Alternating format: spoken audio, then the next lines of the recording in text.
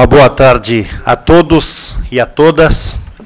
A Câmara Municipal de Vereadores de Erechim realiza nesta, nesta data audiência pública sobre a Ferrosul, como um corredor de transporte interligando, interligando a região sul do país ao Porto de Rio Grande, conforme requerimento conforme requerido no requerimento de número 044/2011 de autoria do vereador Lucas Roberto Farina. Passamos a palavra ao vereador Lucas Roberto Farina, proponente desta audiência pública, para tecer as considerações iniciais sobre o porquê da audiência pública e dar encaminhamento à presente audiência pública. Bom, boa tarde a todos, a todas. Quero primeiramente aqui Agradecer presidente de exercício, Jaime Basso, também cumprimentar aqui a presença na mesa do excelentíssimo, excelentíssimo senhor prefeito, Paulo Polis, também deputado estadual, Altemir Tortelli, aqui presente, representando aqui a frente parlamentar aqui em defesa da Ferrosul do Rio Grande do Sul. Também cumprimentar aqui o Gilberto Tonello, que é presidente da AMAL. Cumprimentar aqui o senhor Marcelo Petri, então, nesse ato representando o Ministério Público Estadual, é isso, né, Marcelo?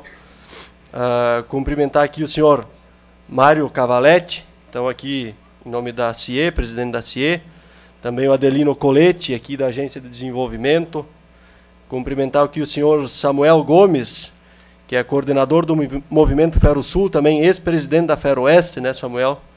Uh, cumprimentar aqui o senhor Fabrício Mocelin, então, nesse ato representando a OAB Rio Grande do Sul, e também o Roberto Balém, representando aqui os movimentos uh, sociais, então ele que é coordenador da FETRAF Rio Grande do Sul. Primeiro, o objetivo dessa audiência pública é nós entendermos a quantas anda esse processo da ferrovia no país como um todo. Uh, temos informações das mais variadas, né, vereador Basso, que sai, não sai, sai por aqui, sai por lá.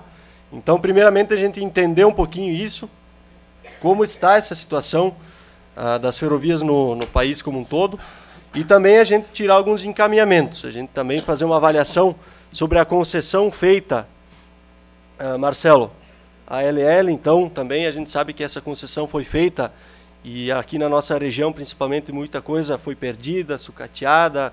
Então, de que forma a gente pode estar cobrando também do governo algumas atitudes referentes a essa concessão que foi feita então à empresa da ALL. Sabemos depois, podemos tratar melhor sobre isso, teremos vários encaminhamentos nos próximos dias, seminários, ações, uh, encontros, audiências públicas em outros estados, então que depois o pessoal poderá estar falando um pouquinho melhor sobre isso para a gente. Eu quero passar nesse momento a palavra ao senhor prefeito municipal, Paulo Polis. Também. Acho que o protocolo já, já nominou a todos os presentes, as entidades, as, a representatividade que, que tem aqui nesta sala hoje. É, fazer uma saudação especial aos nossos aos meus pares, os prefeitos, vice-prefeitos e, e aí toda, toda a região do Uruguai que está envolvida nesse processo, saudar, saudar toda a mesa. E em nome do vereador Lucas Farina, eu acho que isso é um tema muito pertinente e muito atual. É, aqui no convite diz o seguinte: audiência pública sobre uh, a Ferrosul como um corredor de transporte interligando a região sul do país ao porto de Rio Grande, favorecendo o escoamento da produção. Eu acho que só, eu acho que por si só esse assunto merece uma profunda reflexão por parte de todos os senhores, uh, senhoras, enfim, todas essas entidades que estamos aqui representados hoje. E, e um tema complexo como esse, é, não vai ter solução simples. É, isso pode ter, é, pode ter diversos desdobramentos, mas acima de tudo, é, eu, eu acho que nós temos que, é, que a cada reunião ter alguns passos dados é, e consolidados. Eu, eu, eu, até peguei alguns números só para terem uma ideia de quando começou, quando começou a discussão a respeito da reativação dos trens, em torno de 10 anos atrás, mais ou menos, quando nós, nós gostaríamos que a nossa, a nossa, o nosso PIB da cidade de Erechim que era de 585 milhões, passou para 1, milhão, 1 bilhão e 700 milhões. A nossa renda per capita, que era 5.700 ano, passou para 17.700, quase 18 mil ano. Ou seja, nós triplicamos a, a nossa capacidade produtiva e distributiva de renda. Então, uh, por si só são números econômicos, nós não estamos nem, nem falando aqui de avanços sociais, que, que obviamente, com uma, com uma, nova, uma nova linha de, de, de transporte, uma linha ferroviária, iria melhorar, facilitar, iria ampliar oportunidades, com certeza. Mas, acima de tudo, nós estamos falando uh, de um país que está sofrendo profundas transformações econômicas, sim, e a, a, as linhas de transporte não estão acompanhando esse sistema.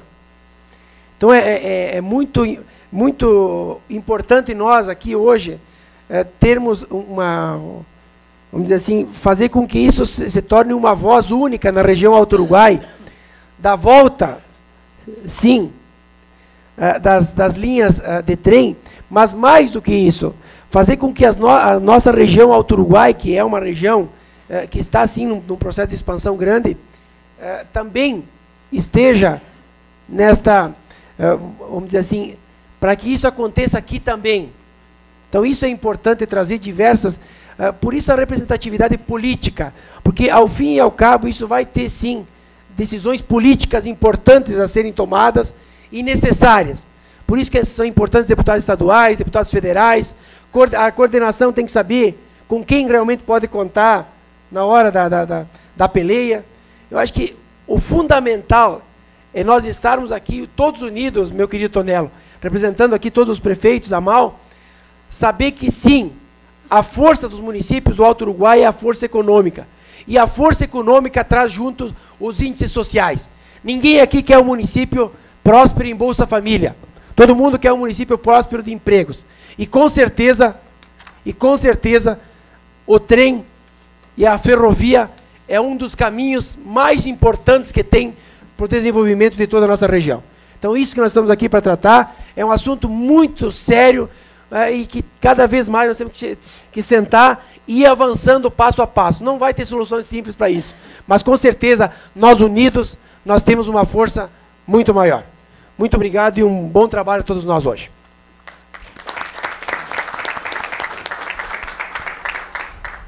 Bom, senhor prefeito, então, muito agradecido pela presença. Também dizer que realmente é isso, a gente quer. O objetivo dessa audiência pública também é que a gente possa estar juntando forças de todos os movimentos, entidades constituídas, para que a gente possa fazer esse debate e também garantir que realmente a nossa região possa estar atendida por esse sistema de ferrovias. Dizer que para nós, os movimentos sociais aí, do campo e da agricultura familiar, da, da Petraf Sul, MAB, enfim, os demais movimentos também, MPU, dizer que, de fato, trata da questão da, da saída dos produtos, do escoamento da produção, mas também trata da questão da vinda de insumos para a nossa região. Então, tem relação direta com o desenvolvimento da região Alto Uruguai, principalmente aí da agricultura familiar. É, eu diria assim que se nós tivéssemos a ferrovia funcionando, talvez nós não tivéssemos a demanda tão grande de, de, duplicação de uma BR ou de uma, de uma rodovia aqui na nossa região, que com certeza iria reduzir muito é, o tráfego de veículos e também de de caminhões, principalmente nas nossas rodovias. Então, é, a FETRAF Sul, o MAB, os movimentos aí da, do campo social, são parceiros aí no sentido de buscar fortalecer essa, essa estratégia.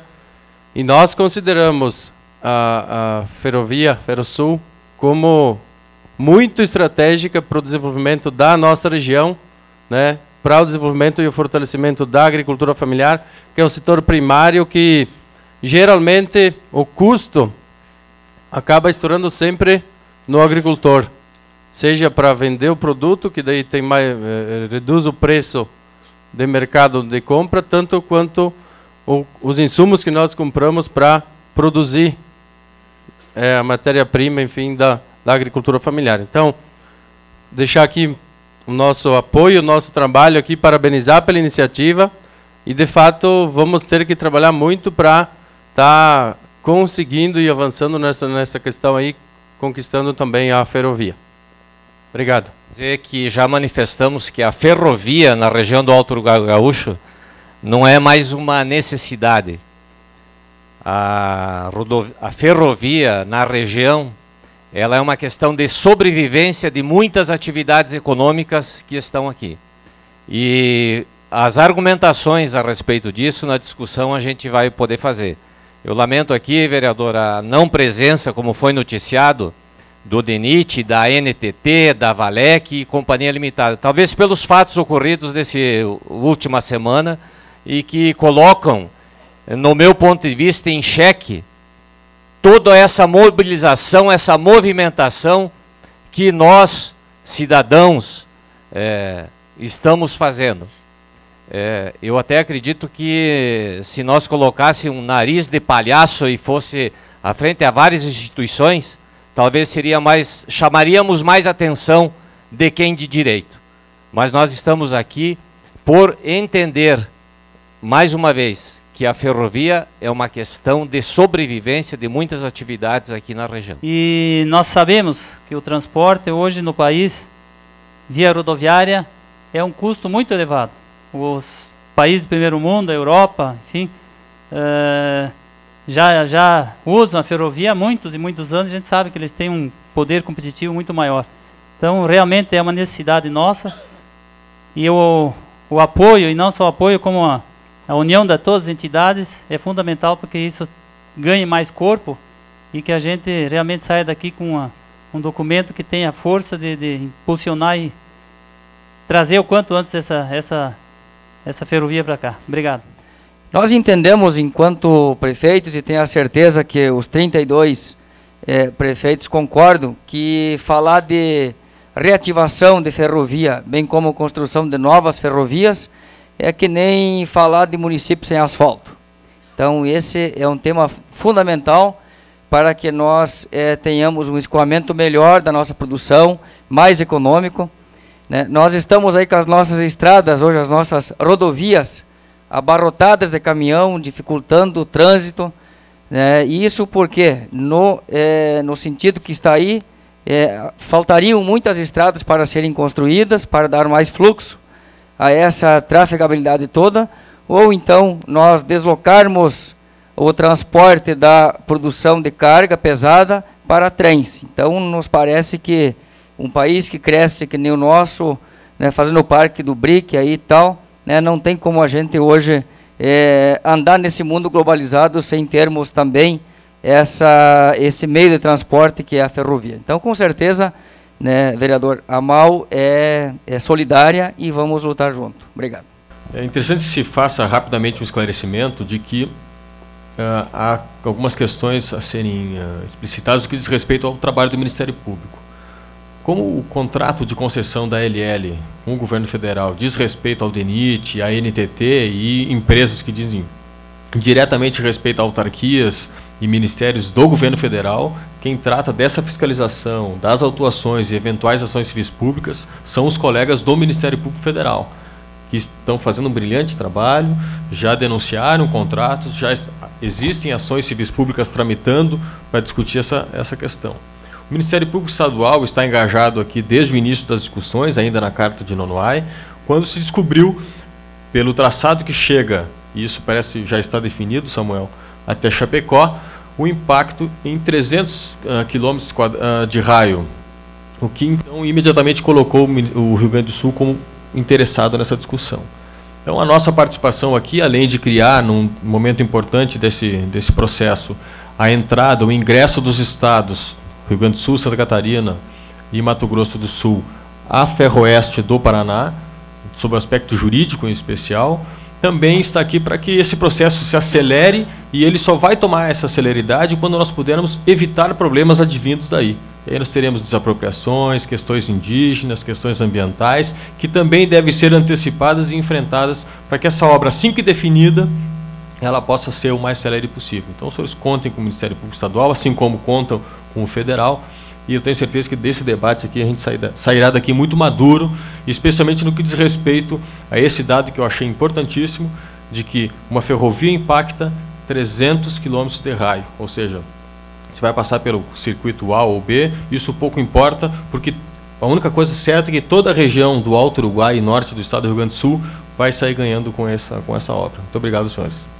Uh, a OAB, representada aqui por essa pessoa que lhes fala, endossa, sem dúvida nenhuma, o embate que aqui hoje, digamos, se inicia.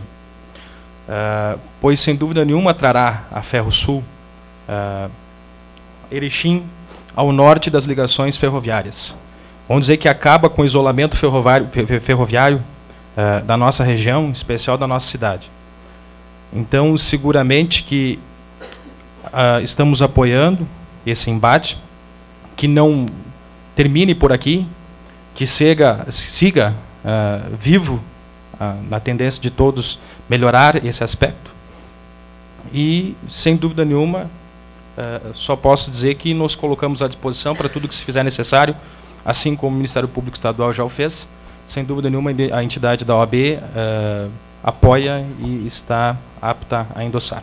É, nós, em Passo Fundo, estamos totalmente aliados a esse movimento de vocês aqui em Erechim, porque nós estamos sem ligação ferroviária com o centro do país, por conta do movimento que vive aqui de paralisação da ferrovia aqui no Alto Uruguai.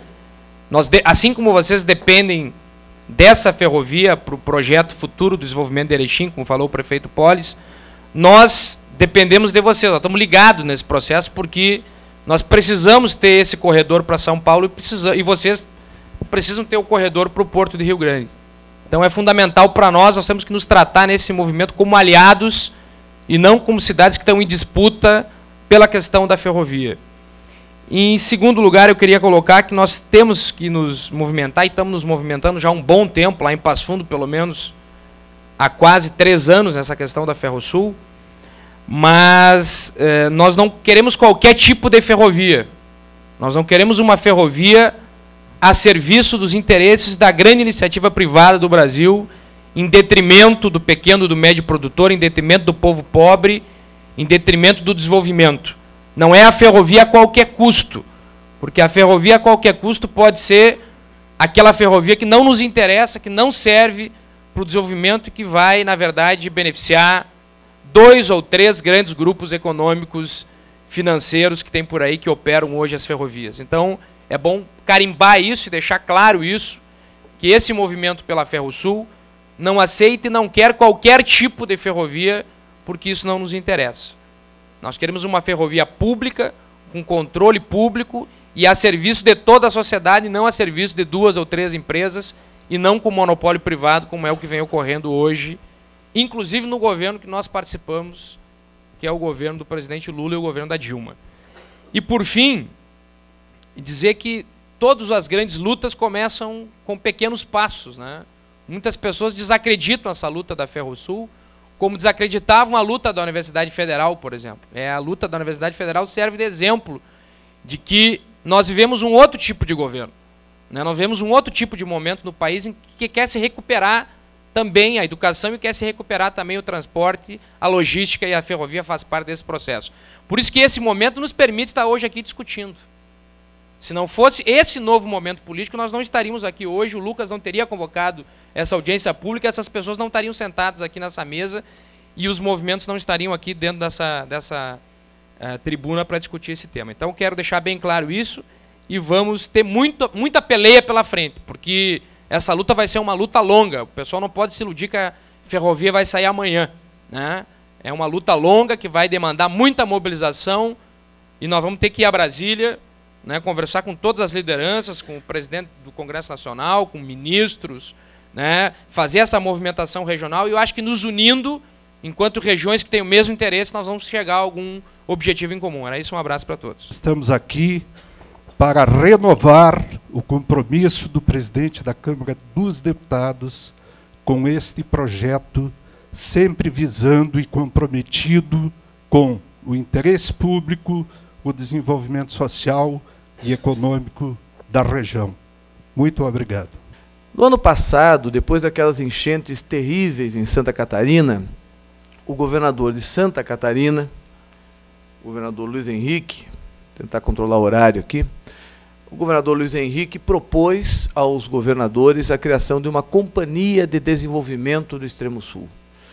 Teve, naquele momento, até uma certa resistência do BRDE, que entendia que ele era o banco de desenvolvimento por, do, do Extremo Sul, mas o governador de Santa Catarina manteve eh, a proposta, enfrentou a discussão e convenceu os seus pares e a companhia foi criada. Porque o BRDE foi se burocratizando ao longo do tempo e hoje ele é um mero repassador praticamente de verbas do BNDES. Ele não é, é o que levou o governador de Santa Catarina a pensar numa companhia de desenvolvimento do Extremo Sul é um instrumento do sul do Brasil para enfrentar grandes questões. E o que lhe deu consciência dessa necessidade foi a tragédia daquelas enchentes e, portanto, a destruição, que foi fruto nada mais, nada menos do que a destruição do, do meio ambiente, da natureza, que nós, nossos antepassados e nós também provocamos nessa nossa região e que temos que consertar. E para isso é preciso instrumentos. Por isso, esta Companhia de Desenvolvimento do Extremo Sul. Ao mesmo tempo, é um movimento começou lá no Paraná. O Paraná tem uma empresa ferroviária. É a única ferrovia pública do Brasil, além da Valec do governo federal. A Valec é uma empresa e, do governo federal vinculada ao Ministério dos Transportes, que tem por é, prerrogativa legal planejar, construir e operar ferrovias em todo o Brasil. Portanto, a ela está é, delegada, está estabelecida por lei, é, outorgada por lei, a concessão para construir todas as ferrovias, por exemplo, como a Norte e Sul, que ela está construindo nesse momento, Transnordestina, Leste-Oeste da Bahia e assim por diante. No sul do Brasil só existe a Ferroeste. O que é a Ferroeste? A Ferroeste é fruto de um movimento como esse aqui. Lá no oeste do Paraná, os, os gaúchos que chegaram lá e deitaram as árvores e botaram soja, depois de ter feito isso no sudoeste. Vocês lembram que o oeste do Paraná, Cascavel, praticamente em 10 anos apareceu, cresceu, se desenvolveu. E a mesma agonia da necessidade de transporte, mas na época nem sequer se tinha BR-277 asfaltada e tal, era, um, era e, produzindo commodity, um preço fixado na Bolsa de Chicago, a água estava subindo. E aí a luta pela ferrovia. E o movimento se criou de uma força tal que quando o Requião foi eleito governador em 91, ele já assumiu com aquele compromisso de fazer a Ferroeste. E só que já estava tudo montado um esquema de empreiteiras, que já tinha dividido tudo, estava um, um esquemão montado. Ele chegou, deu uma butinada em tudo aquilo, chamou as empreiteiras, falou que não ia fazer com elas, que era para saírem do caminho, se quisessem ter um governador amigo. E elas ratearam um pouco, e algumas tinham investido alguns valores no estudo de viabilidade e tal, mas ninguém entrou na justiça. E o governador Requião chamou o exército brasileiro, o batalhão de Lages e o batalhão da Araguari, Minas Gerais. E os dois batalhões, em três anos, dois anos e pouco, fizeram 250 quilômetros de ferrovia entre Guarapuava e Cascavel. Uma bela ferrovia, uma excelente obra de engenharia feita pela engenharia militar brasileira. O investimento foi alto, 363 milhões de dólares, centavo por centavo do Tesouro do Paraná. Um esforço orçamentário brutal e inigualável, não feito antes, não feito depois e vejo com dificuldade que em algum momento algum estado possa fazer isso. Sequer o Paraná hoje poderia fazer isso. Construída a ferrovia, o governo seguinte, neoliberal, do senhor Jaime Lerner, ao invés de dar seguimento ao projeto, porque o projeto é bom fazer um parênteses. O que é Ferroeste? É uma empresa pública do estado do Paraná, que o Paraná tem 99%, mas que nasceu como uma empresa privada. Nasceram reuniões como essas aqui, os cooperativas deram dinheiro, fizeram estudo de viabilidade, mas na hora de fazer a ferrovia o cascalho era pouco. Aí o Estado entrou e construiu. E depois, quando o Estado integralizou os seus investimentos, a sua participação foi para 99,90 e tantos por cento. Então é uma empresa praticamente inteira do Estado do Paraná. 80% do Tesouro e 18% do Fundo de Desenvolvimento do Estado. E ela tem a, o direito, a concessão para construir uma ferrovia de Guarapuava a Cascavel, porque até Guarapuava já chega a ferrovia do Porto Paranaguá, mais ou menos esse padrão de ferrovia que nós temos aqui no Rio Grande, aquela feita lá no começo do século XIX, com esse padrão construtivo muito ruim, né? Fruto dos erros do passado, por isso está correto o vereador Juliano Rosso, nós não temos o, de, o direito de errar nesse momento. Nós não podemos brincar com esse assunto. Nós já erramos no Império, quando compramos pacotes tecnológicos ingleses ultrapassados e endividamos o Brasil com a banca inglesa. Nós erramos na República, quando nós construímos ferrovias pagando 7% de garantia de juros, e além disso, 30 contos por quilômetro construído.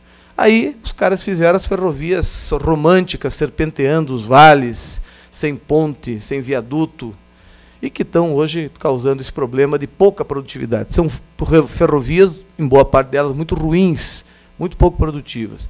Mas, enfim, a Ferroeste tem o direito de construir e operar uma ferrovia entre Guarapuava e Cascavel, um ramal de Cascavel a Dourados, no Mato Grosso do Sul, e tantos ramais quanto sejam necessários para dar viabilidade ao empreendimento. Esse é o direito da Ferroeste. Está no decreto de concessão, a época era decreto presidencial, e está no contrato de concessão.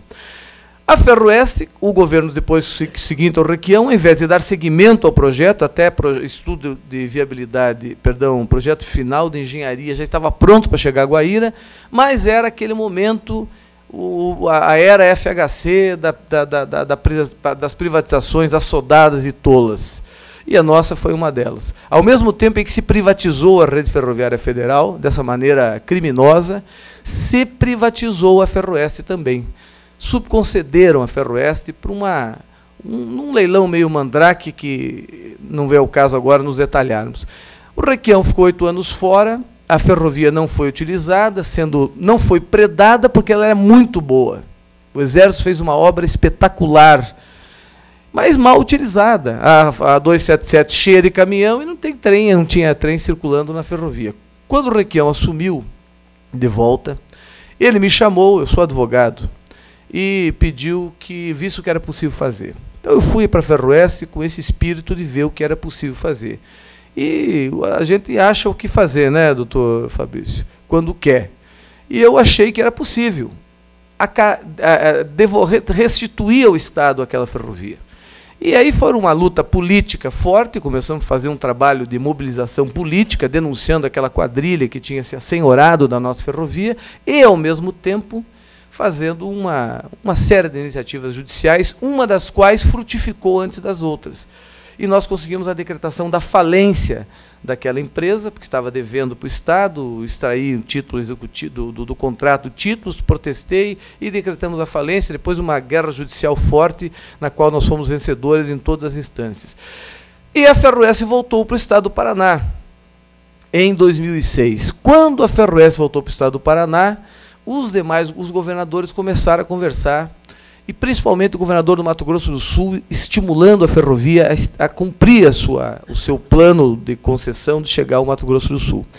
Numa reunião em Curitiba, em que estavam os quatro governadores, e que pela primeira vez foi assinada a moção Ferroeste, essa moção Ferroeste, assinada pelos quatro governadores, isso era 2007, não falava em Santa Catarina e nem pensava no Rio Grande do Sul. A moção Ferroeste era assim, os, os governadores as, é, é, tratam como seu a extensão, como um projeto do Sul, a extensão da ferrovia até o Mato Grosso do Sul. Isso era a moção Ferroeste. Nesse momento, eu falei com o governador de Santa Catarina, que estava na reunião. falei, governador, os senhores terminaram de assinar uma, uma, uma resolução pedindo a vinda da ferrovia até o Mato Grosso do Sul, Mato Grosso Sul a Paranaguá. Mas o oeste de Santa Catarina, o senhor sabe, depende dos grãos do, do, do, do do Mato Grosso do Sul, do oeste do Paraná. O senhor autorizaria nós fazermos um estudo da viabilidade, da possibilidade de estendermos a Ferroeste pelo sudoeste do Paraná até Chapecó? Ele concordou e nós fizemos o estudo. O estudo revelou o que disse o, o doutor Marcelo Petri, que um terminal em Chapecó, da Ferroeste, atrairia 238 municípios do Rio Grande do Sul para o terminal de Chapecó. E numa, numa reunião que nós fizemos lá para apresentar o estudo já lá no sudoeste do Paraná, estava lá casualmente, providencialmente, um prefeito, o prefeito Nonuai, foi lá, viu aquilo, ficou entusiasmado, procurou na época o deputado dele, né, que o atendia, que era o deputado Jerônimo Guerge, e já nós já vínhamos, já vínhamos conversando com o Rio Grande do Sul e fizemos uma audiência pública em Nonuai. Aí o Ivar esteve lá, naquele dia não foi possível estar os demais deputados, era a votação do impeachment da governadora Ieda, a governadora mandou representantes, e nós tiramos a carta no Nonuai. Semana seguinte, a governadora Ieda me liga, eu estava lá na Ferroeste, nunca falou comigo, nem me conhecia, ligou do telefone do Jerônimo Guerra e disse, olha, eu, eu li a carta no Nonuai, estou fechado com o projeto, vou falar com o Requião, vamos botar no Codesul. Então, no dia 18 de novembro de 2009, os governadores aprovaram uma resolução do Codesul. A resolução diz basicamente o seguinte: considerando, considerando, considerando, que é considerando isso tudo nós estamos falando aqui, resolvem criar um grupo de trabalho para estabelecer a forma de criação da Ferrosul. Esse grupo foi criado o Ministério Público Estadual participou, o BRDE participou, um de cada estado. Eu coordenei o grupo e em um mês nós apresentamos a forma de criar a Ferro Sul para os governadores. Essa forma de criar foi transformada em uma resolução 1062 do Codesul, foi transformada em lei no Paraná, lei em Santa Catarina e lei no Rio Grande do Sul. Que forma é essa? É fazer o óbvio. Se nós estamos nos considerando um, o Sul, nós vamos aproveitar as estruturas que nós temos. Ora, a Ferroeste é uma empresa ferroviária. 300 milhões de patrimônio líquido, prefeito. Polis. Se considerarmos o direito de concessão e dermos um valor, deputado Tortelli, se nós considerarmos, por exemplo, a Valec, dá até um certo mal-estar hoje falar em Valec, assim, nessa conjuntura, né? mas a Valec ela construiu o primeiro trecho da Norte-Sul, da Sailândia a Palmas, 720 quilômetros, Palmas no Tocantins. Como é que ela fez? Ela avaliou aquele direito de uso por 30 anos das 720 quilômetros em 1 bilhão e 400 milhões. E ela fez um leilão. Ela privatizou a Norte-Sul. Então, a, o que há de construído da Norte-Sul hoje é privatizado. Quem ganhou a, a, o leilão? A dona Vale do Rio Doce. Essa mesma que o governo federal corretamente está tentando botar cabresto para ela servir ao Brasil. Parar de pensar que ela é uma multinacional que tem que ganhar dinheiro no mundo todo para seus acionistas. Nós vendendo minério para a China e comprando trilhos da China com oito vezes de valor agregado. A dona Vale do Rio Doce é dona por 30 anos da Norte-Sul. Isso é opa política. No momento ainda, eu acho que a, a presidente Dilma está botando linha nesse negócio está tá botando linha, mas ainda é a política do governo federal, a única que nós conhecemos. Mas então, considerando 2 milhões o valor, digamos, pelo uso de 30 anos de um quilômetro de ferrovia, não, 2 milhões, você tem 720 milhões, 720 quilômetros, 2 milhões, vai dar 1,4 bilhão, tá certo? Se você considerar 2 milhões pelo direito de uso por 30 anos, fazendo essa conta, né, já que é uma conta que está aí, foi feita agora pela Valec, a Ferroeste, o seu direito de construir 500 quilômetros de Cascavel até Dourados, mais 170 até Foz do Iguaçu, mais 330 até Chapecó, mais 365 até Paranaguá, daí uns 3 bilhões por aí, se nós estendermos aqui, considerarmos a leste-oeste de Santa Catarina como um direito a ferroeste, já ferro-sul, nós vamos ter mais uns 800 milhões. Se nós considerarmos aqui, daqui até, da de Chapecó até Porto Rio Grande, mais do que uns 500 quilômetros, mais ou menos, não é isso? 500, 600 quilômetros, nós vamos ter mais um bilhão. Então nós estamos falando de uma empresa que vale uns 5 bilhões, de 4 a 5 bilhões.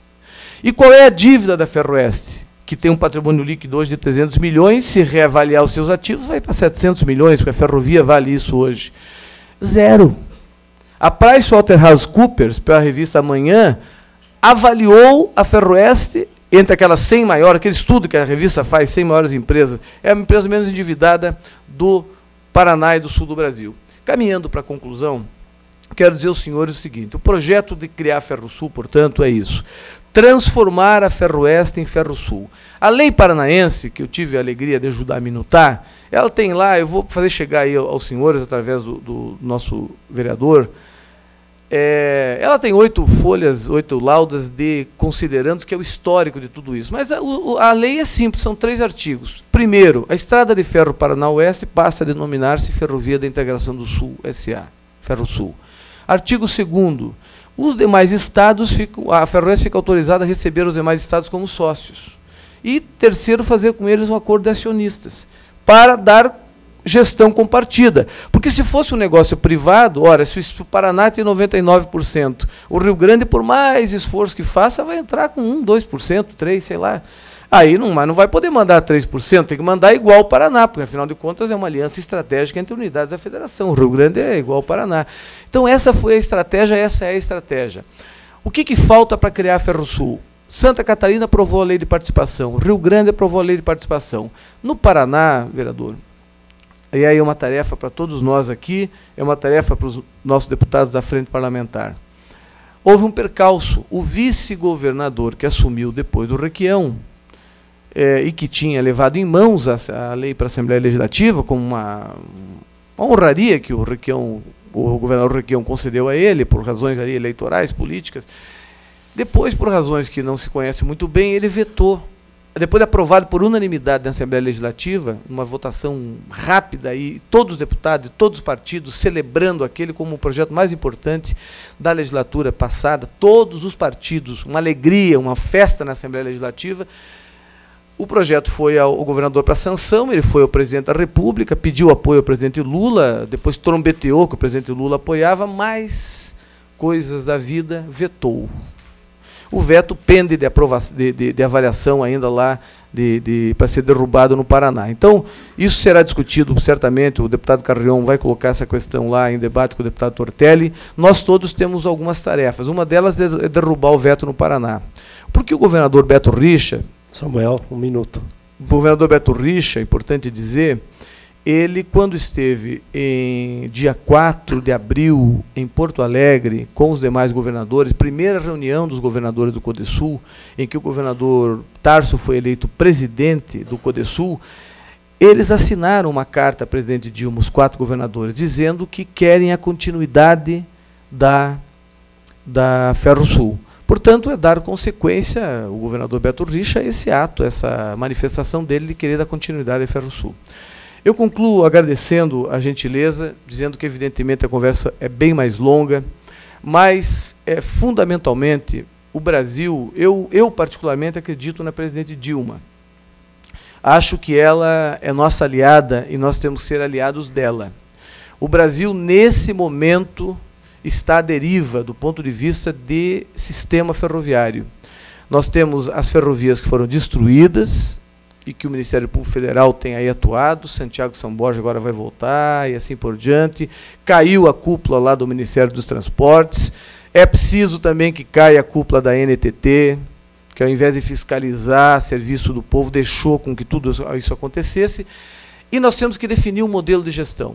Né? Essa nossa região é muito rica e certamente, se nós deixarmos ao sabor do mercado, grandes interesses internacionais irão se apropriar dessa nossa ferrovia. Isso não é um vaticínio de quem quer que aconteça. É da, da ordem natural das coisas hoje, no mundo. Essa região é muito rica e ferrovia não tem competição. Ferrovia é um monopólio natural. Os economistas estão aqui presentes sabem, não existe competição em ferrovia. Ou você tem o Estado tendo protagonismo, protagonismo quer dizer que o Estado seja dono de cada parafuso, de cada roda, não. O Estado tem que ser o gerente estratégico, é o Estado que determina, até para, como disse o companheiro da FETRAF, e aí eu concluo, porque a ferrovia é para trazer também sumo barato, para garantir que a sobrevivência do pequeno produtor. E vejam, a região aqui, eu não, não conheço, estou conhecendo agora com os dados que recebi do prefeito, mas vou falar da região de Chapecó, que deve ser igual aqui. O milho vai chegar a 30, 29, 30 reais em Chapecó na próxima safra. O milho que vinha do sudoeste do Paraná, que vinha do oeste do Paraná, que vinha do Mato Grosso do Sul, já está vindo da Amazônia Legal, está vindo do Mato Grosso. Sai de lá a 14 reais e chega aqui a 30 em lombo de caminhão. Esta cadeia de riqueza, cadeia produtiva, que durante gerações, o esforço de gerações nós conseguimos construir aqui, está sob risco. Não é risco de não crescer, é risco de desaparecer. Se nós não tivermos ferrovia sob controle social para derrubar o frete e manter essas ferrovias a serviço do desenvolvimento do país, da nossa região e da América do Sul. Muito obrigado a todos aí pela, pela paciência.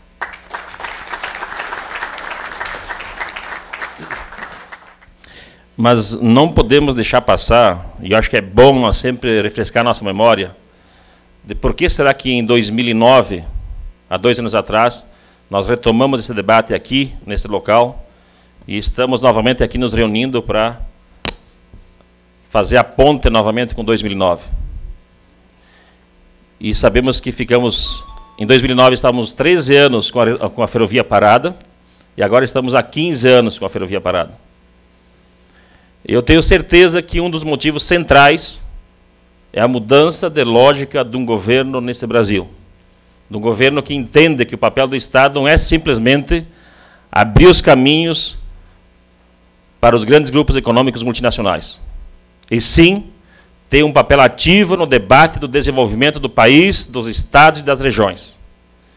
Que entendem que, e o companheiro Lula deixou claro isso nos seus oito anos de governo, que entende que é preciso ter um Estado que seja indutor do desenvolvimento, de cobrir, fazer o debate de como é que as regiões podem ter uma condição mais igual na lógica do mercado, no desenvolvimento, no conjunto da economia de uma grande região, de uma macro-região e de um país.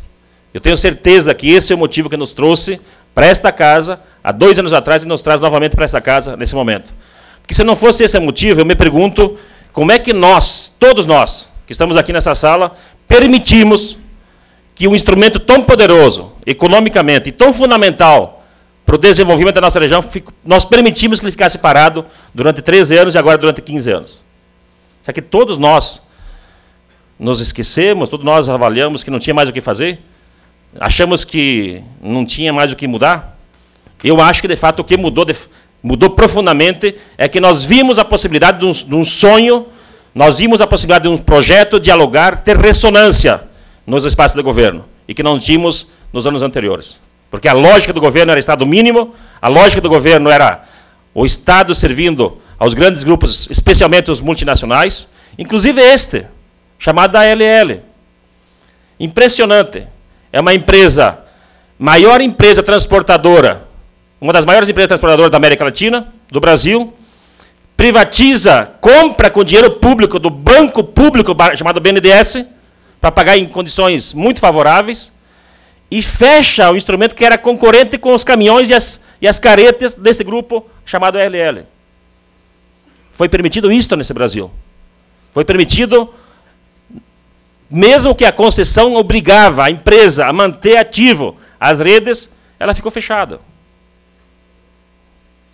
E eu tenho certeza que nós estamos debatendo nos últimos dois anos porque estamos vendo possibilidade de ressonância de diálogo com projetos como o da Ferro Sul, com projetos que começou a se debater de um novo papel do Estado nesse Brasil. Eu quero deixar isso muito claro, porque senão a gente parece que todo mundo está é, com o mesmo nível de indignação.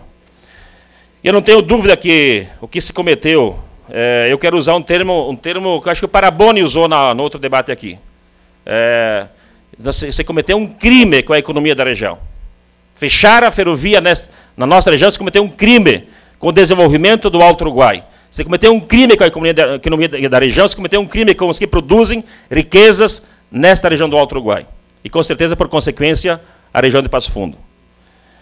Eu quero saudar, desculpa, o vereador Juliano, não estava na minha listinha aqui, mas estava do nosso lado. Um abraço, companheiro que está puxando também essa luta há muitos anos lá em Passo Fundo. E eu, eu quero já na minha, no início da minha fala, dizer que nós não podemos, gente, deixar o movimento, e olha que eu sou parlamentar, nós não podemos deixar o movimento nas mãos somente dos parlamentares. E eu não tenho dúvida que os grandes movimentos vitoriosos foram os que nós conseguimos juntar o executivo, os legislativos, a sociedade organizada, o setor empresarial, o empresarial, os movimentos sociais e o setor sindical. E nós não precisamos ir longe para ver as, as vitórias que nós fizemos aqui na nossa região há poucos anos. o movimento que a gente conseguiu juntar todas as forças vivas da sociedade, ele não passa pelo percalço de uma eleição ou de outra eleição. E talvez esses dois anos de vácuo que nós estamos vivendo aqui, nesta luta, foi porque nós todos nos, nos envolvemos com as últimas eleições, inclusive eu. Mas então é bom nós corrermos, olharmos com carinho para nós não, não, não, não, instalarmos mais uma vez, não retomarmos mais uma vez a esperança de fazer, fazer um movimento que ele sofra as paralisações dos períodos eleitorais, porque ano que vem temos eleições de novo, eleições municipais. Este movimento não pode ficar no fluxo de eleição de dois em dois anos. Ele tem que ser maior do que uma eleição municipal, ele tem que ser maior do que uma eleição de deputado ou de governador. Então, acho que esse, eu acho que esse é o primeiro aprendizado que nós precisamos ter dos acertos e erros que nós já cometemos, construímos e cometemos. Por isso, eu proponho que nós, de fato, a gente construa aqui, companheiro Lucas, um comitê que, de fato, seja suprapartidário, que seja paralelo e construído com o conjunto dos atores sociais, econômicos e sociais, e dialogando com sua estrutura, visibilidade, articulação, planejamento. Eu, eu, eu estou há, há 60, 70 dias tentando compreender melhor a conjuntura que nós estamos vivendo no tema da Ferrosul, ou no tema do tema na secção da, da ferrovia que pode ou não passar pela nossa região. É, tive algumas conversas, já a gente tem participado aí do, da instalação do, da Frente Parlamentar Estadual aqui no, no Rio Grande do Sul. Temos conversado com o Jerônimo, nosso deputado federal, que é vice-presidente da Frente, Frente, Parlamentar Federal, com o companheiro deputado Pedro Xai, ex-prefeito de Chapecó, que é o presidente dessa frente parlamentar. É, estive em Brasília há duas semanas falando com. Não sei se já caiu ou não caiu, mas se caiu, ou se vai cair, nós temos uma entidade, uma instituição, que se mesmo que mude os diretores, ela está vinculada a um governo. O governo não está a risco de cair. Então, eu acho que mesmo que caiam os diretores, deve ficar pessoas lá respondendo pela empresa chamada Valec. E eu estive conversando com o diretor de planejamento e expansão. E confesso para vocês que não tinha, talvez a maioria das pessoas aqui também não tem conhecimento do que, que é esta Valec. Ela tem, eu até algumas informações iniciais disseram que ela davam conta de que ela foi criada em 2008. Na verdade, ela foi criada há muito tempo atrás com no governo Sarney e tinha a tarefa de construir a ferrovia Norte e Sul. Então fazem alguns anos que ela existe. E pelo que eu sei, ela, ela, ela passou por um processo de reestruturação, reativação, nesses últimos anos, é, com a tarefa de, de fato, reconstruir é, no governo Lula essa, a rede ferroviária a nível nacional, com essa ação é, do governo federal. E também fiquei, Samuel, te confesso que fiquei bastante preocupado com a metodologia de como se pensa a, a construção e a gestão dessa estrutura. De certa forma, o Estado entra, faz uma ação público-privado e depois vende os lotes para iniciativa privada. Fiquei bastante preocupado com esta, com esta modalidade de construção e gestão do empreendimento ferroviário no Brasil. É, mas ela está aí, ela existe. E é importante nós sabermos que é, até Panorama em São Paulo já está em fase de licitação a obra de construção. E, e o trecho seguinte, que é de Panorama, no interior de São Paulo, até o Porto do Rio Grande, que tem uma linha imaginária, e aparece já nos, em alguns mapas um trecho que corta lá de, do, de São Paulo até o Rio Grande, que passa pelo norte gaúcho, pelo centro do Rio Grande do Sul e vai até o Porto do Rio Grande, tá, qual é a fase que está isto? Tem um edital, de, de, tem um edital contratando eu estou com o edital aqui, todo o processo, com cópia todo o processo. Público, é só entrar no site da Valec que nós vamos encontrá-lo. Tem um edital que diz que estão sendo contratada uma empresa especializada para elaborar os estudos de viabilidade técnica, econômica e ambiental do trecho de Panorama São Paulo ao Porto de Rio Grande, com extensão de 1.620 quilômetros. E tem mais um lote, que é a ferrovia do Mato Grosso do Sul ao Porto de Paranaguá de 1.116 quilômetros. Inclusive tem um valor aqui. Está público isso no site. Está em fase de análise das empresas. São sete grupos de empresas que estão sendo passaram pela primeira fase de avaliação. E vai, segundo os diretores da Valec, em no máximo 60 dias, essas empresas começarão a trabalhar a partir da sua seleção. E o lote que está sendo selecionado, feita essa, essa, licitação, vai ter um valor de R$ 8.349.654,46 com 46 centavos. para fazer o projeto de estudo técnico, econômico e ambiental. São os termos colocados aqui. Não tem. Este é um dos debates que o estudo vai apontar. Inclusive, apontando mais do que a informação tida verbalmente, não está escrito aqui, mas verbalmente colocado pelo diretor da Valec, que talvez o estudo possa apontar mais do que um traçado. Ok.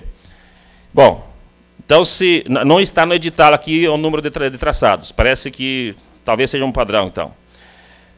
O que nós temos, então o que eu acho que nós temos que fazer o debate, o debate que nós precisamos fazer, na minha opinião, é como é que nós vamos, como é que nós equacionamos essas as duas situações que é o movimento pró construção de uma estatal do sul do Brasil, que ainda não está consolidado, porque a Ferrosul, segundo o próprio Samuel colocou aqui, ela está consolidada em dois estados, que é o nosso e Santa Catarina. Aprovado em Assembleia e homologado pelo Executivo, os dois governadores. E foi aprovado na Assembleia e vetado na, no Executivo do Paraná, e pelo que eu sei, não sei se o Samuel confirma, no Mato Grosso do Sul não foi aprovado ainda na Assembleia Legislativa do Mato Grosso do Sul. Talvez não tenha sido proposto. Então nós estamos numa situação onde temos um, uma, uma ação do governo federal, através da sua estrutura, sua empresa estatal mista, diríamos, com uma, uma modalidade que eu questiono, de forma de fazer parceria público-privada, é, com um projeto de estudo de viabilidade no, em todos os níveis, né, até o Porto de Rio Grande. Estamos no período de contratação das empresas, ou da, ou da empresa, e a outro, e outro projeto é um projeto que nós ainda estamos na fase de consolidação da instituição, chamada Ferrosul. Me parece, pelo que eu vi em Brasília, é, o governo federal não vai consultar, não vai fazer uma consulta à instituição Ferrosul para fazer esse estudo. E me parece que, é, obviamente, vai dialogar com os governos estaduais, vai dialogar com os quatro governos, com os três governos do Sul, mas a, me, me pareceu com uma, uma decisão muito forte de que teria poucas possibilidades de fazer uma construção conjunta, é, Valec e Ferrosul. Poucas possibilidades, então estou dizendo que não será possível. É, tenho também feito contatos e conversei nessa semana com o secretário Beto Albuquerque, aqui do nosso estado, que inclusive coordena, no CODESUL, se não me engano, coordena o setor de infraestrutura. Nós temos uma. Eu acho que nós não podemos secundarizar aqui também, meus, meus caros amigos, o tema da, do movimento que eu estou percebendo. Já ouvi alguns empresários aqui da nossa cidade, que parece que já foram procurados por pessoas, que há, há uma movimentação da LL, de reativação dos, do funcionamento dos trens no trecho aqui, é, Marcelino, Santa Catarina, a Passo Fundo. Não sei se essa informação procede. Me, foi me dito de fonte segura que eles estão fazendo uma movimentação de limpagem, de troca de, dos, dos, dos, dormentes. Confere a informação, Gladys. É, então nós temos, nós temos é, que dar uma olhada. Eu também, na minha opinião, já falei inclusive na, na imprensa hoje, tenho comentado, que é muito mais uma ação tática. É uma ação tática para dar. Quando nós começamos o movimento, eles se movimentam para dizer que eles vão. É, e talvez até para enganar a própria justiça, porque tem ações pesadíssimas de milhões de reais por, por eles não estarem cumprindo a, aquilo que é a licitação ou a concessão. Eu vou finalizar, gente, colocando duas ou três ideias que quero provocar o debate aqui entre nós.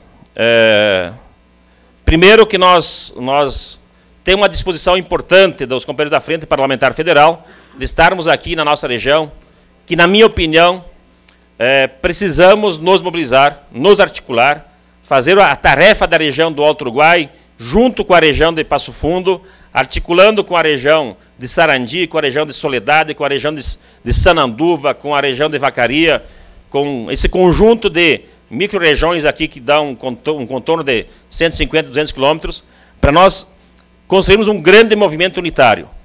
Então, é, eu acho que nós podemos fazer, fazer fazermos essa articulação. Tem uma disposição do tanto do Jerônimo como do Pedro Cuxai de estarem conosco se nós organizarmos uma atividade nesse caráter de representação é, durante o mês de julho, eu então defendo esta ideia de nós trazermos os companheiros parlamentares da Frente Parlamentar Federal, da Frente Parlamentar Estadual, mas nós trazermos efetivamente para esse debate o secretário que coordena esse movimento, o secretário Beto Albuquerque, para ele expressar as suas opiniões, como é que ele está vendo essa conjuntura, trazermos a direção da empresa Valec ou de alguém que fale pelo governo federal, para que apresente para nós efetivamente qual é o desenho, qual é o projeto, quais são as estratégias do governo no tema da, de toda essa engenharia ferroviária é, para o sul do Brasil, e quais são as. Se, a, se o que está sendo o edital de publicação, o edital publicado agora é só, é só uma tática, é só um canto de quero-quero, ou de fato está colocado numa mobilização efetiva do governo. É, nós, nós vamos, de fato, tomar posse na, no dia 6, que é quarta-feira, da Frente Parlamentar Estadual, então nós, acho que essa frente pode se engajar nesse movimento. É, e eu quero reforçar o, o, que eu coloquei antes como talvez um, um aprendizado é, de que nós temos que efetivamente fazer uma ação conjunta, articulada, de todas as frentes sociais, do Poder Executivo, do Legislativo, das entidades da sociedade civil, para que a gente possa fazer um grande, uma grande coordenação representativa e talvez, Juliano, eu, na minha sugestão, que nós pudéssemos fazer de forma conjunta.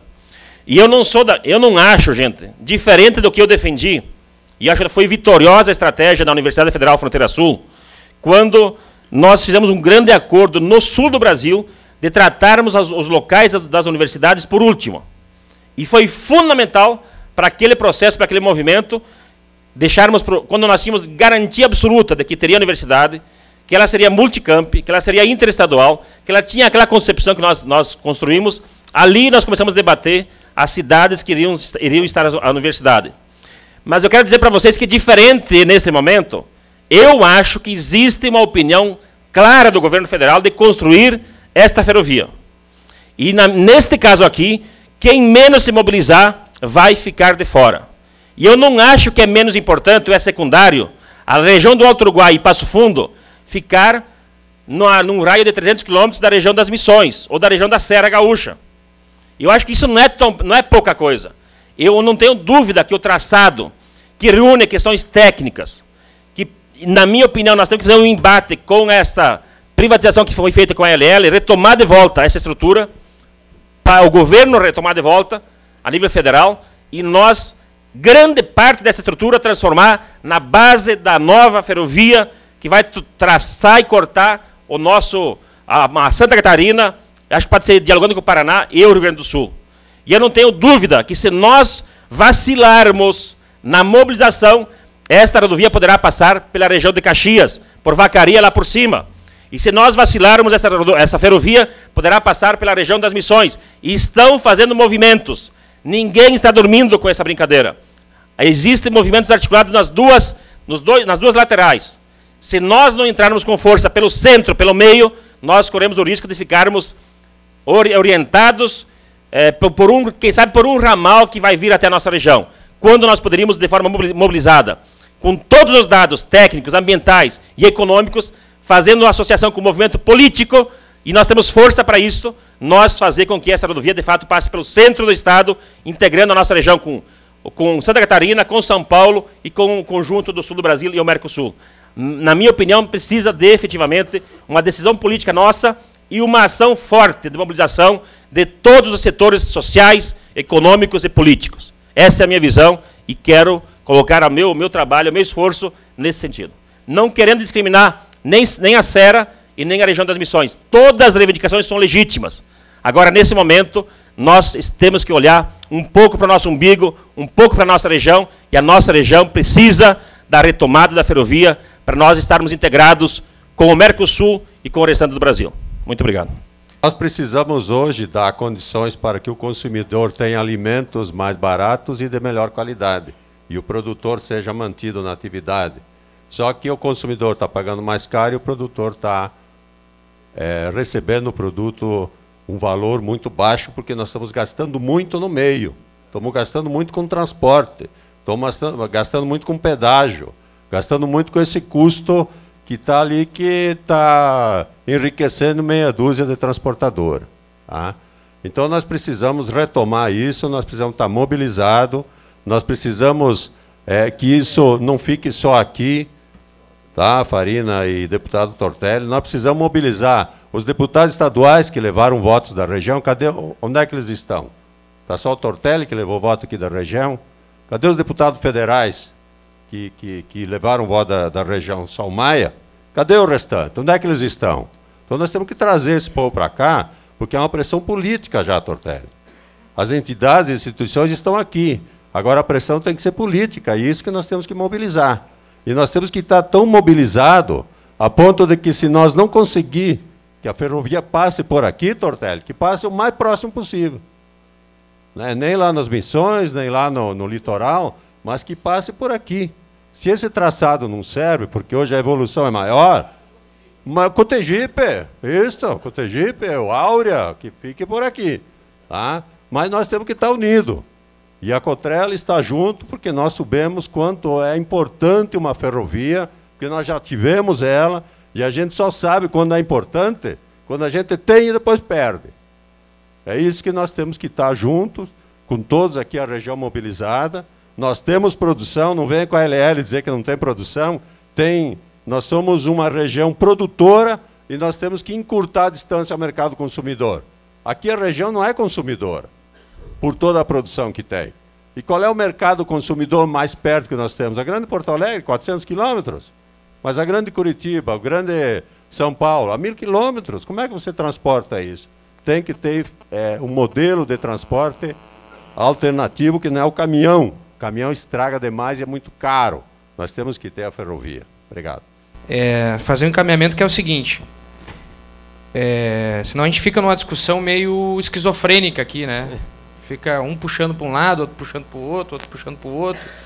E nós temos que, nesse momento, é, é é ter uma visão mais ampla do que, que nós queremos.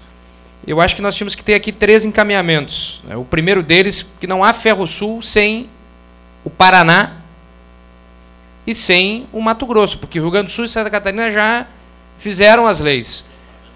E o, sem o Paraná e sem o Mato Grosso do Sul. O Paraná é o principal estado, inclusive, porque ele é detentor da, das concessões. A, a Ferroeste está lá no Paraná, né, Samuel? Então, o primeiro encaminhamento, que é o que nós fizemos lá em Passo Fundo, é fazer uma visita para o governador do Paraná e para a Assembleia Legislativa do Paraná, para que o governador, o novo governador agora, que é o Beto Richa, envie a proposta para a Assembleia do, do veto do antigo governador, que, é, que era o vice-governador na época, o Samuel relatou isso, para que a Assembleia derrube esse veto e aprove a inclusão do Paraná na Ferro Sul. Acho que essa é a primeira tarefa. Então nós devemos fazer uma grande comissão aqui, com a assembleia, com associações comerciais, com os movimentos sociais, com as lideranças políticas, empresariais aqui, prefeitos, etc. e tal, para fazer essa visita. E segundo, a visita no Mato Grosso do Sul, para que o Mato Grosso do Sul, que sequer enviou a lei ainda para a sua assembleia, também faça isso. Porque senão não há Ferro Sul. Nós estamos discutindo uma. Um, nós estamos, na verdade, nós temos inimigos na trincheira, para quem não entendeu ainda. Nós temos inimigos na trincheira do nosso projeto. Isso, isso acontece claramente. Então nós precisamos fazer essas duas visitinhas, vamos dizer assim. E aí temos o seminário de Chapecó, que o Samuel acho que vai divulgar aqui, que é na sexta-feira, que vai ser um passo importante também. Agora eu acho que aqui em Erechim há uma, uma questão específica, que é essa questão da América Latina, que uh, falou muito bem ali o companheiro Ari. Eu acho que nós precisamos aqui é dar sequência a essas ações judiciais, inclusive coletiva e individualmente, falando para que a América Latina sinta o pé no pescoço, tem que sentir o pé no pescoço. Ela tem que sentir que está sendo sufocada e que, se não tem mais condições de ficar, que saia, que dê lugar para outra, para o governo federal retomar, etc. E tal. Acho que essas são as três ações imediatas que nós temos que tomar. Fazer essa visita no Paraná, essa visita no Mato Grosso e dar uma sequência mais incisiva, né, como essa que foi feita aqui na, na região de Santa Rosa, né, no, no setor judiciário com essa questão da América Latina. Eu quero agradecer a gentileza do convite, dizer que das reuniões que eu participei até hoje, nesses anos de caminhada pela Sul, esta aqui, que nós estamos concluindo, é aquela em que eu vejo o desenho mais correto, mais adequado e mais promissor de articulação. Porque a presença dos movimentos sociais, dos pequenos agricultores, dos atingidos por barragem, é o que vai ajudar o Brasil a dar uma linha. Porque é verdade que a ferrovia carrega grandes. A ferrovia tem uma vocação: grandes cargas a longas distâncias. Para isso que serve a ferrovia. Por isso inclusive, os caminhoneiros não vão serão, serão, serão prejudicados em nada pela ferrovia. Né? O senhor sabe, o nosso ferroviário, o caminhão tem uma vocação de fazer, da sua natureza, fazer tiro curto, 300, 200 quilômetros. O caminhoneiro gira o seu ativo, ganha mais dinheiro. Quando dá um probleminha, tem um barulhinho lá na roda, ele para, conserta. Dorme em casa, vê seus filhos crescer, dirige com segurança. Né? e nós temos já com isso redução de acidentes nas estradas. Então não vai faltar trabalho para o caminhoneiro, mas o caminhoneiro vai fazer o seu trabalho. Hoje o que não é justo é o caminhoneiro carregar o Brasil nas costas, dois, três meses fora de casa, andando atrás de frete, como um zumbi, né? tomando o que não deve tomar, para ficar acordado, de repente tomba aí no meio da tarde, e a gente não entende como é que tombou aquele caminhão numa reta três horas da tarde. Tombou porque o caminhoneiro tombou antes Aí tombou o caminhão logo depois. Então, é, essa matriz maluca de transportes, ela não interessa ao Brasil. O Brasil, nós temos uma faixa de 200 quilômetros do litoral, e olhe lá, que está o, todo o Brasil está lá. O Brasil é um gigante chilenizado. Nós somos um Chile espremido no litoral. Todas as grandes cidades estão lá, estão lá, a, está lá a cadeia industrial, tudo está lá. E nós temos o interior pouco povoado e ainda, do ponto de vista da população, e utilizado o nosso território ainda como se nós fôssemos, estivéssemos no século XIX, produzindo commodities agrícolas e minerais. O agronegócio, que é importante, que é nosso aliado nessa questão das ferrovias, mas o agronegócio, hoje, os antigos fazendeiros foram transformados em aliados do capital internacional, compram pacotes tecnológicos de semente, e de logística, etc., e entram com a água e com a terra. Então, este modelo não interessa ao Brasil. Nós temos que ter grande produção, mas nós temos que fundamentalmente desenvolver o nosso interior e nosso interior cadeias produtivas. Por isso, meus irmãos, o fundamental, olha, construir ferrovia, tem uma turma aí que gosta de construir ferrovia. A, a Dilma já pegou uns quatro deles e mandou para a rua. Eles adoram obra, obra. Agora você senta com eles, como foi lá o nosso deputado, e pergunta, escuta, como é que vai funcionar? Aí o cara, ou, o trepida não falar, ou fala uma loucura dessa, que precisa ser bem explicado, como disse o deputado. Nós temos que chamar aqui o governo federal, não o governo federal, vamos chamar a dona Valec, a dona NTT, explicar para nós que, que, como é que vai ser o tal do modelo espanhol. Porque eles estão dizendo agora não vão privatizar mais já entregaram para Vale do Rio Doce a primeira trecho da Norte-Sul, e aí depois disseram, não, agora não, agora vai ser o modelo espanhol. O que, que é o modelo espanhol? A Espanha, para começar, não é modelo para transporte de carga, é 7% a participação das cargas na Espanha. Transporte de carga para valer é China, é Austrália, é Estados Unidos, Canadá. A Europa não é modelo, talvez a Alemanha possa ser ali. Mas o que, que eles querem fazer? É o modelo do seguinte: o Estado constrói toda a ferrovia, faz a manutenção, bota o CCO, o Centro de Controle Operacional, para um trem não bater no outro, e quem tiver carga que transporte. Mas esse quem tiver carga que transporte, nesse mundo em que nós temos três ou quatro grupos econômicos dominando o planeta, dominando o planeta, é a gente que faz guerra na Líbia, que vai destruir o Iraque.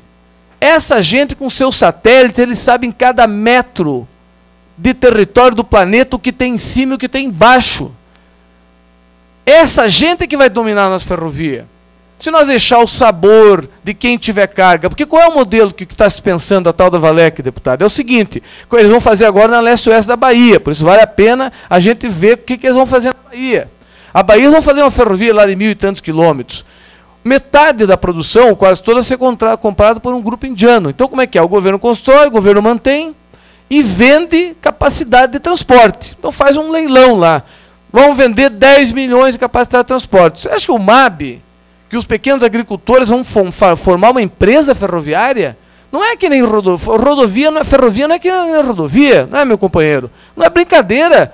Locomotiva, é, vagão, é um negócio complicado. Você ter uma frota de vagão, você fazer manutenção, você ter. Não é assim como comprar três caminhãozinhos para levar. Não, a coisa é diferente. Então, para concluir, dizer assim, ó, vamos acompanhar esse trabalho da Valec. A Valec, inclusive, é, foi 6 milhões num, 8 milhões do outro, deu quase 14 milhões nesse estudo aí.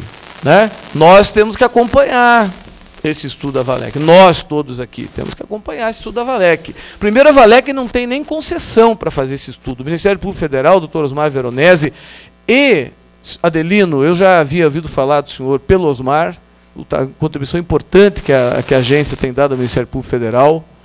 O Ministério Público, para senhores, só para dizer, e ali que eu quero fazer o convite. Nós vamos estar agora, no dia 8, em Chapecó, num grande seminário. Um seminário que não é um seminário, é um, um alinhamento estratégico, uma agenda política estratégica desse projeto. Vai ser aberto, vai estar todo o sudoeste do Paraná, o oeste de Santa Catarina, região do Vale do Rio do Peixe e o norte do Rio Grande do Sul, a nossa região aqui. Espero que os senhores compareçam em peso, das 14 em diante. Vai ser aberto pelo professor Carlos Lessa, ex-presidente do BNDES. Uma das pessoas vai estar, vai ter um monte de gente lá e o debate vai ser esse aqui. E uma das pessoas que vai estar lá é o subprocurador-geral da República, Antônio Fonseca, que é o coordenador nacional desse grupo de bravos agentes do Ministério Público Federal, jovens promotores, lá como o Osmar Veronese, a Lara de Uruguaiana, o Tiago de São Paulo. Então nós vamos ter ali a possibilidade de enxergar o que nós queremos. Veja, nós podemos, temos obrigação, é, Farina, de seguir com o projeto da Ferro Sul até o final, como nós conversamos lá em Erechim. Não, não é Ferro Sul ou morte. É o seguinte, ferrovias para o desenvolvimento.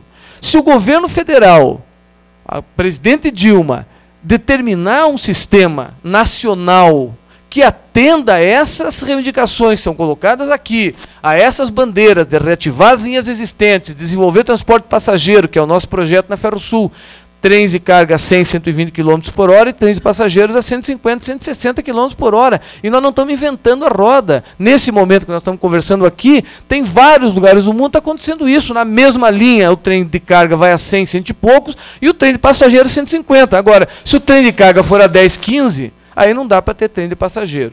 Então, se é o governo federal, o presidente Dilma, com o nosso apoio, estabelecer um sistema nacional de transportes, que bote ordem nesse negócio, que desenvolva o país, o interior e a América do Sul, como disse bem o professor, integrando desde o norte da Argentina, Bolívia, pela hidrovia do Rio Paraná, Paraguai em Porto Murtinho, hidrovia do Rio Paraná em, em Guaíra, eletrificar esse sistema, botar o Brasil, aproveitar os 30 anos que nós paramos e o mundo continuou, incorporar essa tecnologia de maneira inteligente como a China fez, incorporar a tecnologia ferroviária que está bombando no mundo. O trem hoje é o modal do futuro.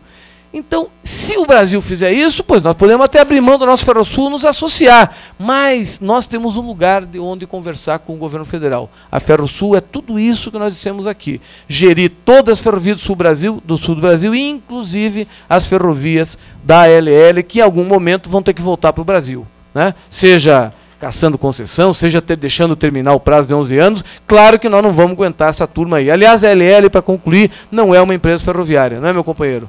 A LL é um banco. É um banco. E atua como banco. Age como banco. E banco não tem a lógica de ferrovia. Ferrovia, você tem corredor que dá muito dinheiro e tem aquela parte que dá menos. E você gere todo o sistema. Você não pode só pegar a parte que dá bem e esquecer o resto como eles fizeram. Que é isso que eles fizeram com a gente. É isso, meus irmãos, grato pela, pela gentileza, pela paciência, e foi uma alegria estar aqui com os senhores. Eu, eu, quero, eu quero só, primeiro, dialogando com o professor Cassol. Eu acho, professor, que nós precisamos, de fato, entrar, eh, entrar, entrar, entrar com força nesse debate, de forma organizada e articulada.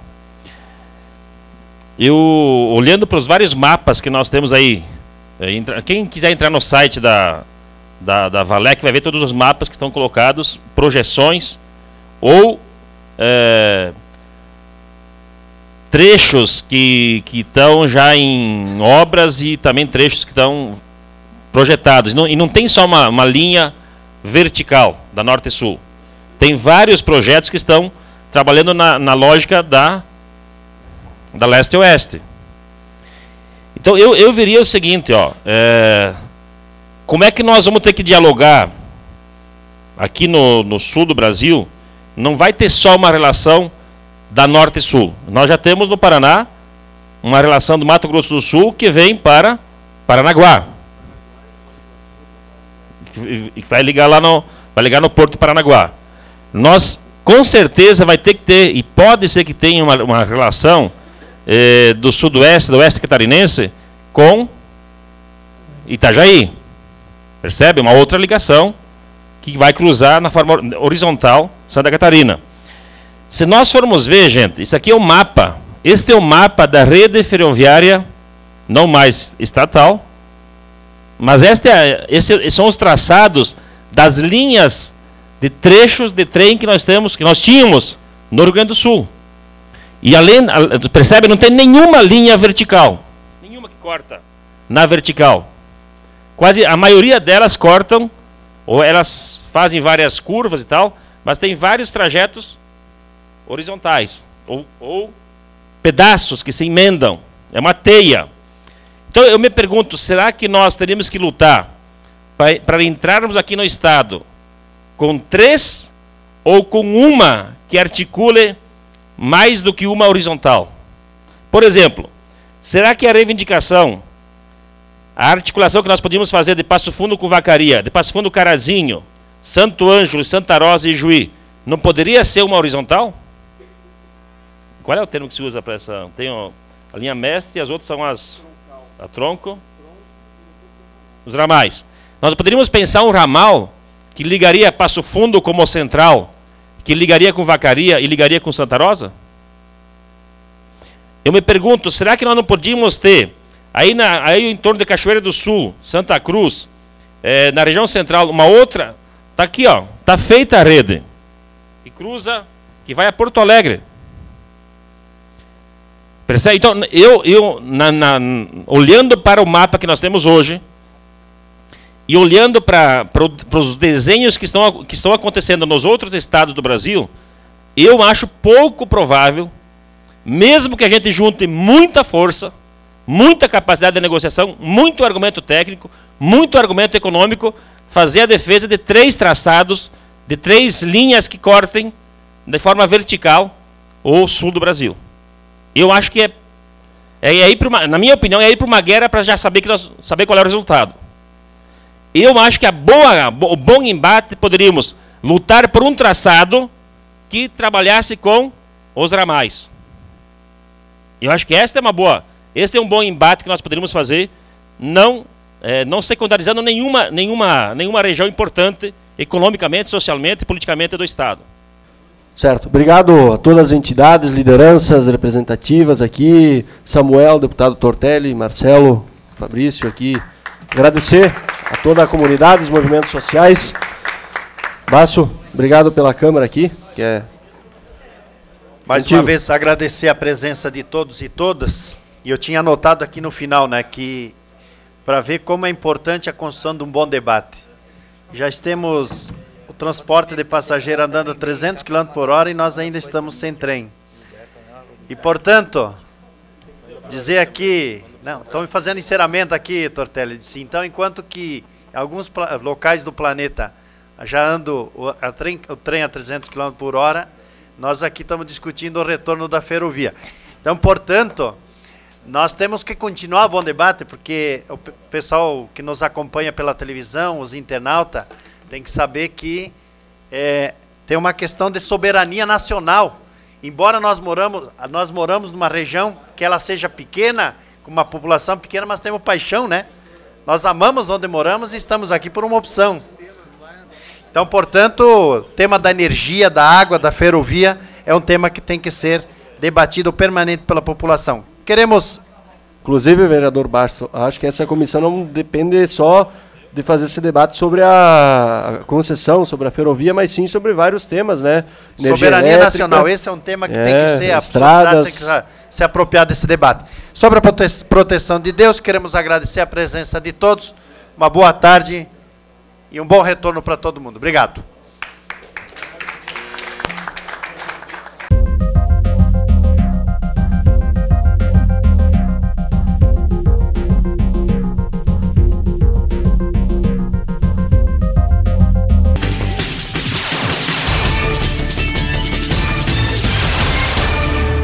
Quer dizer para nossa comunidade aqui que a audiência superou sim as, as expectativas em público, em presença organizacional aqui da nossa região, muitas entidades representadas, público em geral, uh, movimentos sociais, entidades civis.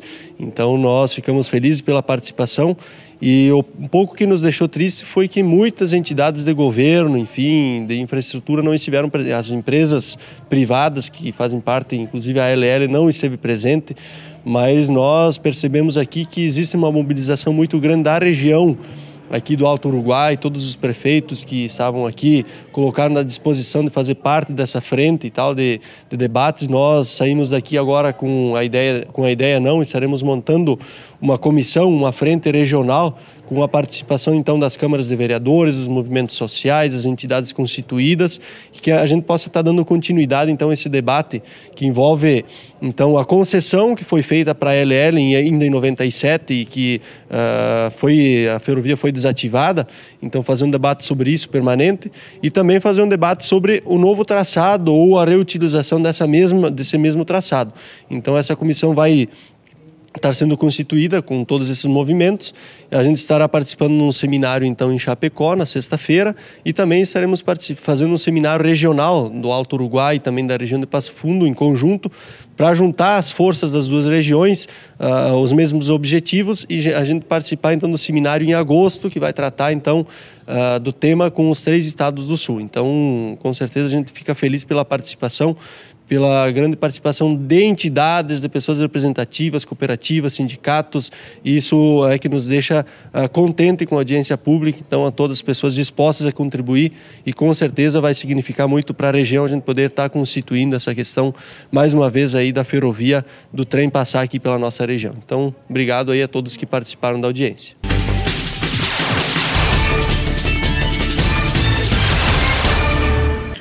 Essa é, coloca a cidade de Erechim no cenário regional, importante, e traz uh, para a população de Erechim a importância do tema, porque o traçado não está definido, o modal não está definido, uh, questões importantes como transporte de passageiro também não estão definidas, e em função dessa questão pluripartidária, que envolve a discussão, autoriza também que o Ministério Público participe de maneira bastante efetiva, se cobrando dos, do, dos governantes, especialmente do governo federal, de que maneira vai ser implementado esse modal de, de transporte.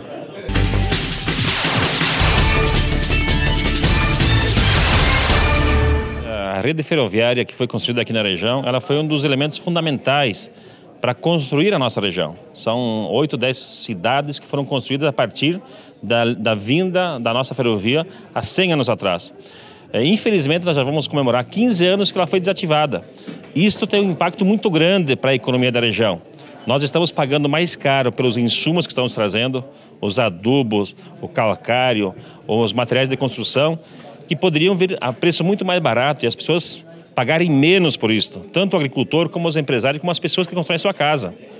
E nós estamos levando produtos daqui para outras regiões pelas rodovias, que estão sendo é, prejudicadas, que inclusive poderiam esses produtos que são transformados aqui, são produzidos e transformados aqui, como a produção de alimentos, de carne, de leite, de soja, de óleo, nós poderíamos levar para outras regiões, para os portos, é, para o centro do país, é, pela rede ferroviária dando um impacto menor no desgaste dos asfaltos aqui na nossa região.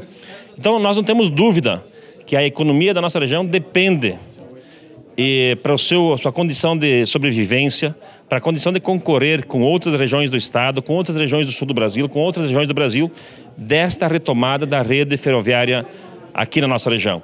E nós temos certeza de que pelas perdas que nós já tivemos, nós poderíamos ter de volta esta rede para o Estado gaúcho e brasileiro, para o povo dessa região, porque as perdas foram muito grandes. Então a nossa luta é para que, de fato, nós possamos retomar esse caminho do desenvolvimento, retomar os trilhos sob o controle do, dos nossos governos e que eles, de fato, sejam instrumentos de desenvolvimento que integre a região, que gere emprego, que gere crescimento econômico, que gere uma vida melhor para as pessoas. Então, de fato, estamos falando da vida. A vida das pessoas pode ficar muito melhor, tanto lá numa propriedade do agricultor, como num bairro da cidade, como numa empresa da nossa região. Para finalizar, então, vai ser extremamente benéfico para a evolução da nossa cidade o retorno do trem? Com certeza, nós vamos ter, vamos ter mais crescimento econômico, vamos ter mais, mais as empresas daqui se desenvolvendo mais, portanto, teremos mais é, empregos gerados aqui, as microempresas poderão fazer mais investimento, poderão comprar insumos mais baratos de outras, de outras regiões, poderemos exportar os produtos a preço mais baixo para o, para o porto de Rio Grande, para o porto de Paranaguá, para o centro do país, que é São Paulo. Então, com certeza, nós vamos melhorar a vida, melhorar a economia, gerar renda, gerar riqueza, gerar desenvolvimento gerar emprego para o povo da cidade e também a permanência dos agricultores produzindo alimentos nas propriedades das nossas comunidades.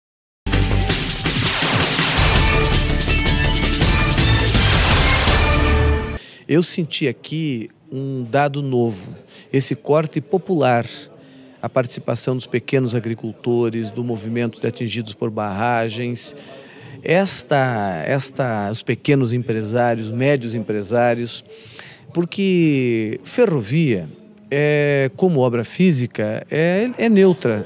Ferrovia não tem virtude. Ferrovia é como uma faca. Pode servir para cortar o pão ou para ferir o irmão.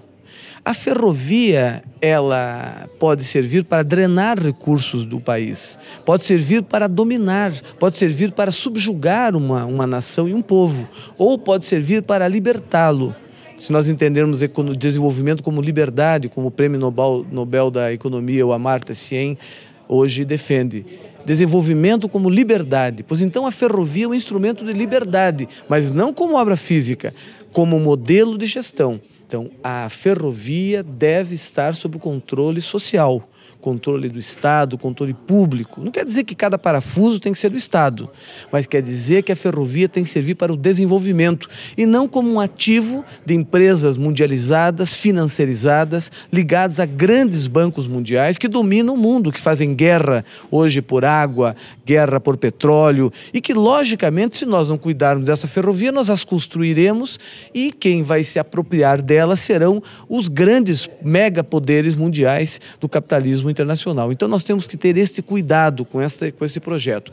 Lutar pela construção da ferrovia, discutir o traçado, tudo isso é importante. Queremos a volta ao transporte de passageiros, com trens a 150, 160 km por hora, trens de carga a 100, 110, 120 km por hora, ferrovias modernas em bitola larga, 1,60m, com um terceiro trilho, para nós termos aqui bitola mista, toda essa parte de engenharia, o Exército Brasileiro sendo gestor da obra, que é a proposta da Ferrosul, tudo isso é importante. Mas o fundamental é para que nós vamos construir essa ferrovia. Se é para a nossa liberdade ou para a nossa subjugação econômica aos megapoderes do capital mundial.